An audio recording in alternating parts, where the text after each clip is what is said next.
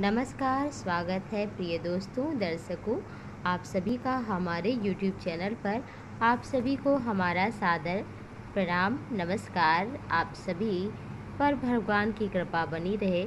ऐसी शुभकामना आप सभी के लिए करते हुए आप सभी के सपनों का परिणाम चलिए पहुँचा देते हैं आप तक। और दोस्तों, स्वप्न विज्ञान के अनुसार हमारे निद्रावस्था में जो कुछ भी घटनाएँ घटित होती हैं वो हमारे आने वाले जीवन में शुभाशुभ संकेत देते हैं। तो चलिए आज की वीडियो में जानते हैं स्वप्न में मेडिसिन यानी कि दवाई देखना कैसा होता है।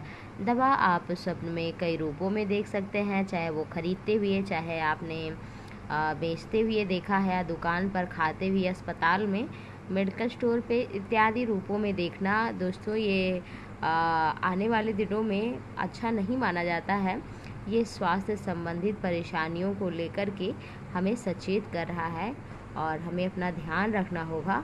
नहीं तो हमें कोई बीमारी लग सकती है, अगर हम लापरवाही बरतती हैं। अगर कोई लापरवाही बरत रहे हैं बीमारी को लेकर, कोई बीमारी है छोटी बड़ी तो दोस्तों उसको आप अच्छे से उसका इलाज कराइए, जिससे आपको स्वास्थ्य लाभ शीघ्र शीघ्र और दोस्तों, बुरी संगत से भी बच के रहना है आपको। कोई आपको बुरी लत लग सकती है, जिससे आप परेशानियों में आने वाले भविष्य में पड़ सकते हैं।